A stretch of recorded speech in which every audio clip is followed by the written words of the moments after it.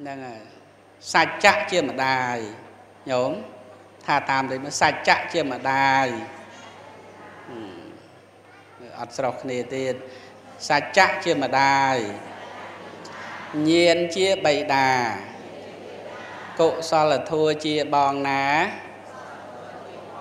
ករណាជាមិត្តស្ងប់ជាប្រពន្ធឬស្វាមី ខន្តីកូនស្និទ្ធ6នេះពិត ជាផៅពងខ្ញុំហ្នឹងហើយឃើញនេះមានកំព្រីកំព្រីអីញោមកាលណាបើយកគុណធម៌ទាំង6នឹងមកជាម្ដាយជាឪពុកជាបងជាប្អូនជាមិត្តសម្លាញ់ជាកូនស្និទ្ធហើយមានកំព្រីអីអានឹងយើងអត់មានអីទៅសង្កេះសង្កោចទេគឺថាយកគុណធម៌នឹងមកជាមិត្តសម្លាញ់ហ្នឹងហើយ ផៅពងទាំង6នឹង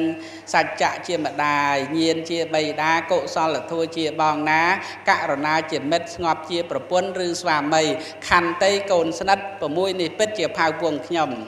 អានឹងមានស្អីត្រូវកំព្រាទៀតអញ្ចឹងយើងរស់នៅយ៉ាង យ៉ាងសបាយរីករាយអត់មានសង្កេះសង្កោចអីទេម្ដាយយើងស្លាប់ទៅមែនប៉ុន្តែយើងមានសច្ចៈក្នុងខ្លួន ជាមនុស្សមានសច្ចៈឪពុកស្លាប់ទៅមែនយើងមានប្រាជ្ញាយ៉ាងហោចណាស់ក៏យើងមានឱកាសពេលវេលាស្ដាប់ធម៌ស្ដាប់អាដើម្បីចម្រើនបញ្ញា